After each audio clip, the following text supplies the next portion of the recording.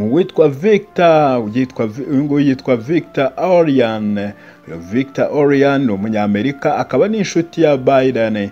Uyu mugabo avuyeyo agerageza kuba yashakisha aho Biden yamubona noneho abasha kumubona ni bwo noneho yamugiraga inama. Mu makuru dufite twandi mu makuru dufite dukesha New York Times avuga yuko uyu mugabo mu by'ukuri ikintu cyatumye ashaka Biden. Yashakaga kumugira inama kubyo kubyo yaraye kubyo yabonye ejo.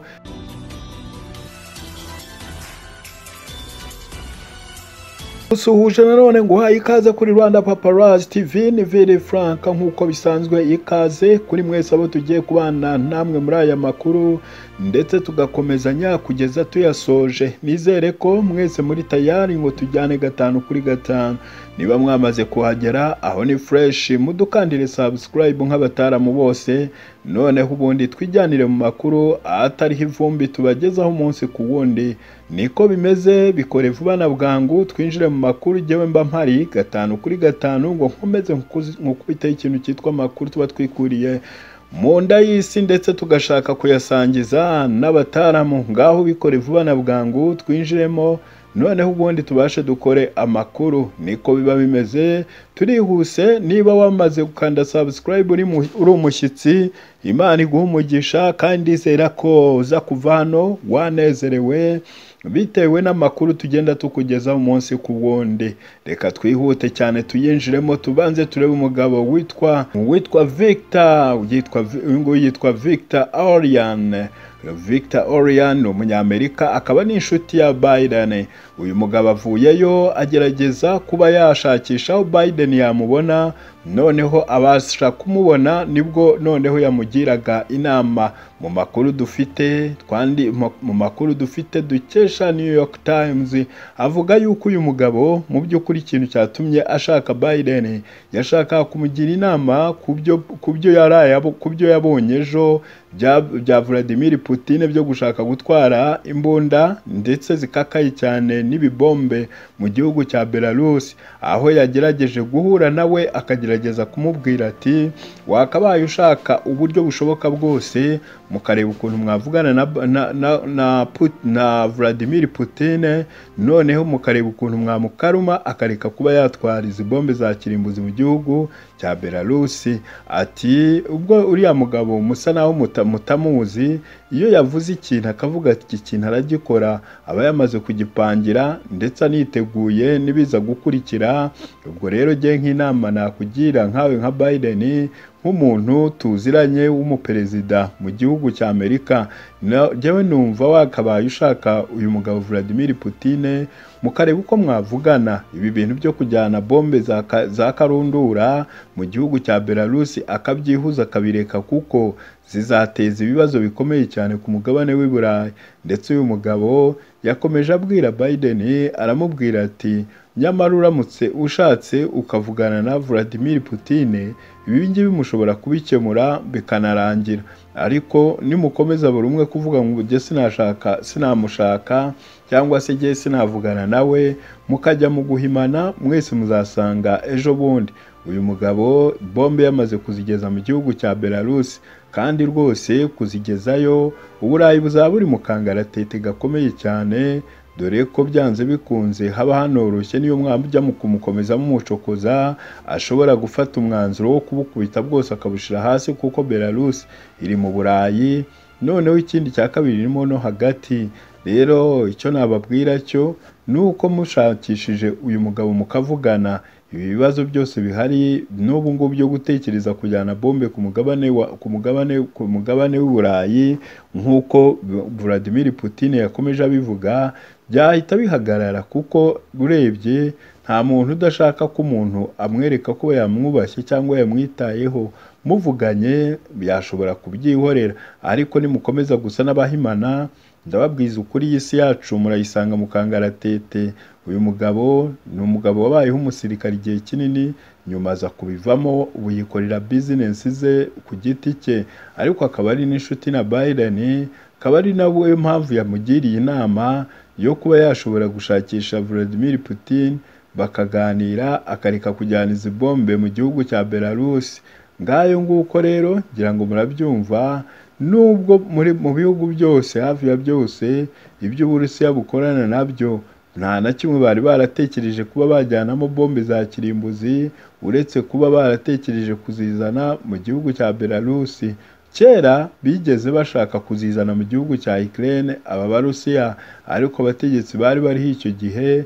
Barabyanga babirukanira kure bababwira yuko badakeneye bombe badakeneye bombe za kirimbuzi mu gihugu cyabo ariko byari byarangiye bashaka kuzizana muri kino gihugu nyuma birapfa ntibigeze babasha kongera gushyiramo imbaraga kuba bashobora kuba batekereza kuzana izi bombe za kirimbuzi hano muri bino bice bya Belarus. Ariko kandi hari amakuru nanone avuga yuko mbere ibi bihugu bikiri muri Soviete yuko muri kino gihugu cya Belarusi ariho hajyaga habikwa izi bombe za kirimbuzi z'Uburusiya.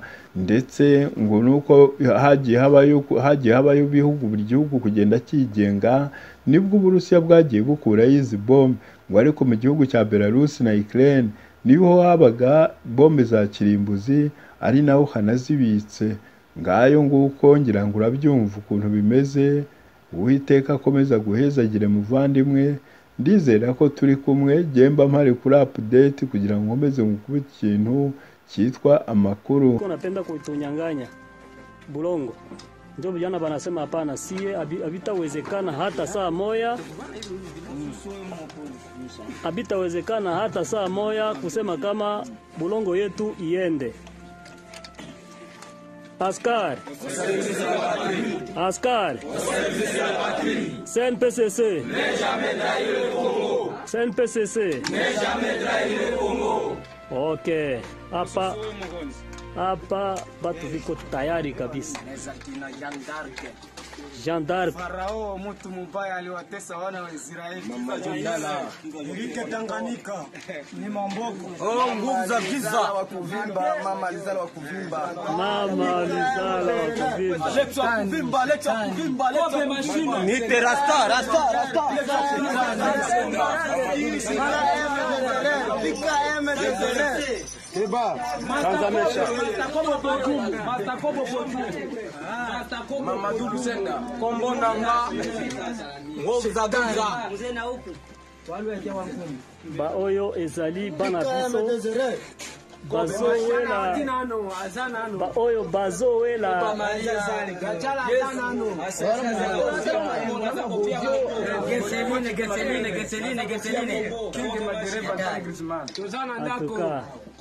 toza moko toza moko azali to aza bana mboka asene pese ya kongo asase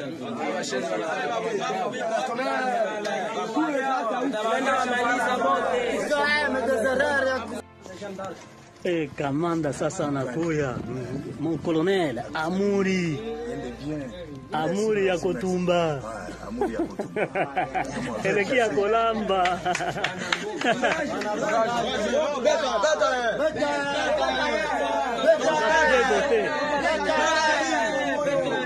Yo vizuri lakisa bomukunayo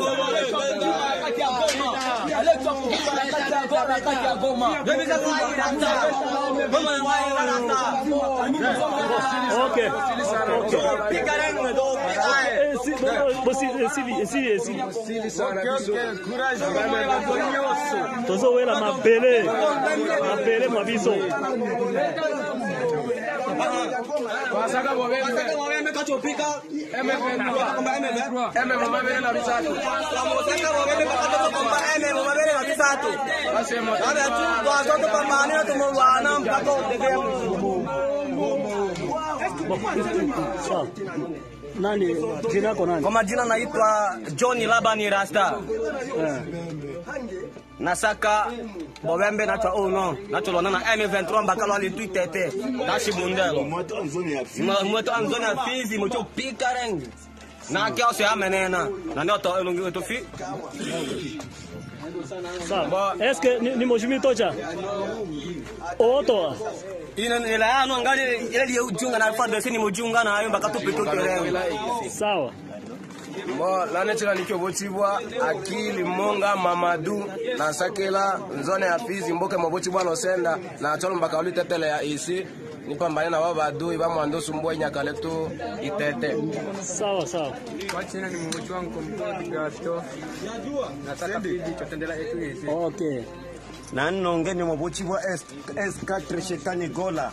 Shataka blage na saka mzoni afizi na mboka nyawe mobochibwa yaboba na twapasi twabobya ba M23 basome toleba yes ndagusuhuje nanone nguhaye ikaze kuri rwanda paparazzi tv ni viri frank nk'uko bisanzwe ikaze kuri mwese abo tugiye kuba turi kumwe namwe muri aya makuru. E, ndetse tugakomezanya kugeza tuyasoje nizere ko muri tayari kugira ngo tujyane gatanu kuri gatanu.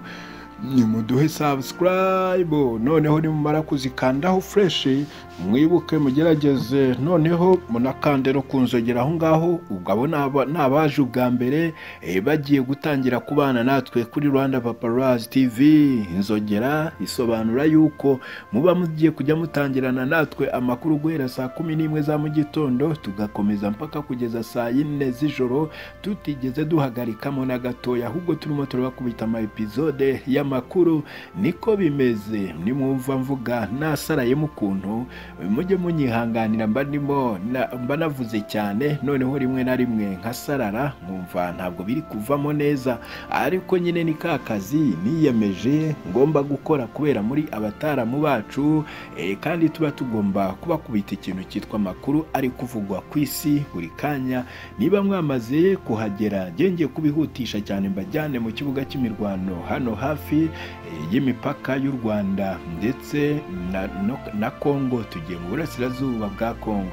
Niho tugiye kuba tujya turebe ahantu nanone narababwiye ni ku ntambara yo muri Congo. Iyo byakomeye kenshi cyane mba mpari. Indege indege za FRDC eh, zigera muri zirindwi muri uyu mu- indege zigera kuri zirindwi za FRDC zirimo zirarasa ibisasu biremereye ku mutwe wa M23 ibintu bimaze gukomera.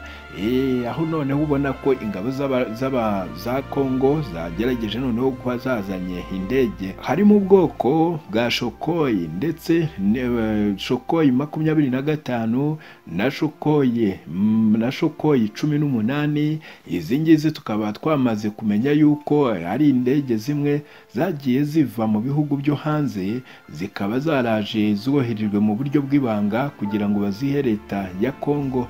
Eh, nk'uko turimo turabibona zazindutse zikubita ibisasu biremereye remereyeho hano muri Rucuru ni bwo ni ukuvuga ni mu bice ni mu bice ni mu bice nka ni mu bice ni mu bice bya cyanzu ndetse na runyoni. Aho ngaho ni ho cyane cyane barimo barakubita izi ni ho barimo barakubita ibisasu kandi aho hose hararangwa n'ingabo za, M23. Nizo zihari ni ho barimo barasakirana kugeza ubu ngubu ikaza nanone kuri mwebwe tugiye kubana namwe muri aya makuru atariho ivumbi ndetse tugakomezanya kugeza tuyasoje. Muri abataramu niyo mpamvu nanjye mba ngomba kuba ndi kumwe n'abataramu aborto